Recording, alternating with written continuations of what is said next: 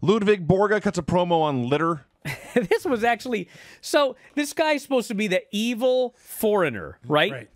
So the the the vignette is he's in a stream, The river. a river, stream, whatever. That's he's what in he a fucking body of water, and there's litter everywhere. And he's pointing out, you know, there, there- there's a dead fish killed by this litter, and there's shit all over the place. And he goes, "God damn, look at this place! What a fucking cesspool! This this area," he said, "was once so beautiful and color." This is Ludvig Borga's saying this. This stream and forest was so beautiful, such beauty and color, and now you Americans have thrown your garbage and your trash everywhere here. And Luger, if you represent this, I'm gonna have to. I didn't know Ludvig Borga was an environmentalist. I was, comp- and, and uh, and like, and I guess in ninety, you know, ninety three or whatever, you're a heel if you care about the environment.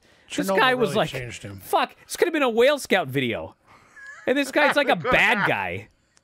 I was like, what in the fuck is this? I'm supposed to boo this guy? He's right. Throw your fucking trash in the garbage, you idiots, not in the fucking stream. But I'm supposed to boo Ludvig Borga. Well, Bryan, I know you're a fan of poetry. Ludvig said to Mr. Luger, Yeah. You call this the land of milk and honey? Well, down here, it stinks funny. yeah. He was disgusted by these this trash. Speaking of disgusting, another proposal. now, he's oh, talking to Todd. I never got his last name. He tried to say it, he couldn't. Heenan couldn't understand it.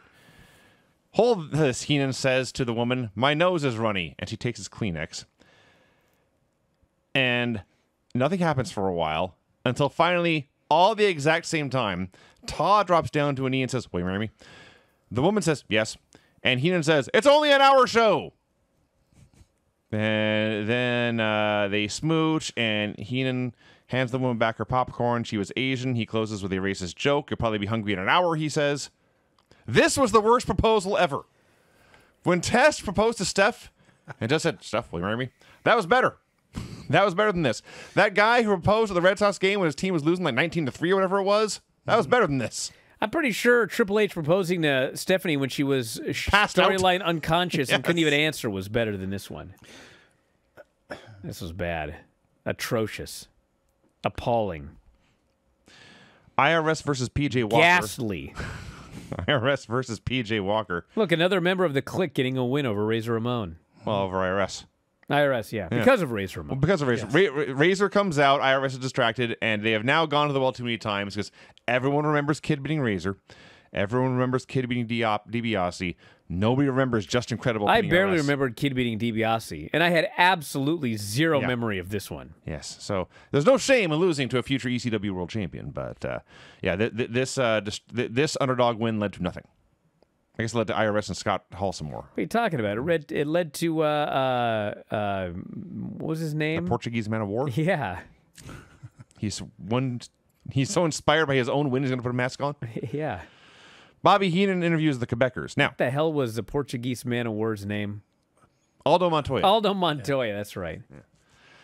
Now we were told there was a whole giant long 20 minute promo last week that said if the Steiners won their singles match against the Quebecers this week, they would get a tag title match. But hold on, Vinny. Uh-huh.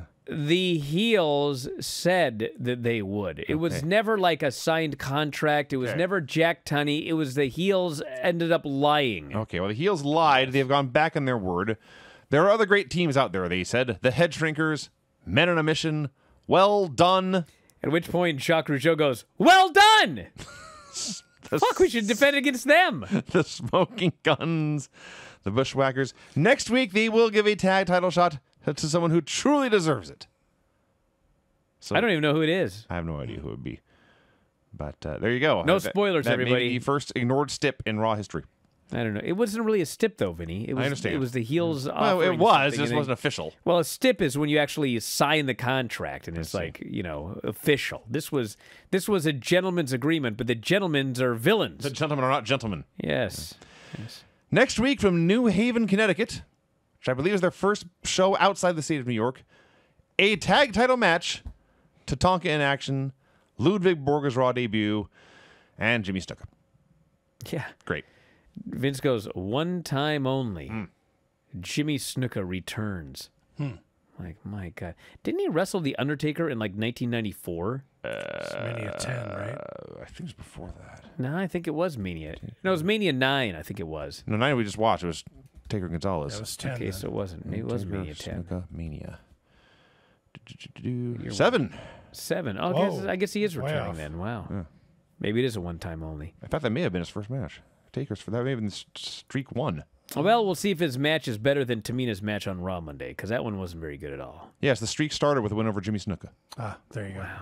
Who would have ever thought? Sangha versus Lee. Stands on Lee's chest when she's down. Bangs her, uh, Lee- her on the apron. Pull, puts elbow on her chin. Threw her out of the ring. You know, it doesn't really matter a lot in 2022, Granny, but uh, Lee, in fact, identifies as a man. Legend versus woman. Perez. That was another NXT. Can you believe the little guy beat him? He beat Legend. A little that. guy? Now Roxanne Perez is a man? Yeah. Roxanne. Oh, no, these were two women. you gotta be kidding me, Granny. You gotta be kidding me today. God. If you enjoy these videos, for just $7.99 per month, you can enjoy full length editions of The Bryan and Vinny Show, Wrestling Observer Live, Figure 4 Daily with Tom Lawler and Lance Storm, the Mad Men podcast, Speak Now Pro Wrestling with Denise Salcedo, and more, plus hundreds of archived shows, all in beautiful HD. Don't miss out. Join us today.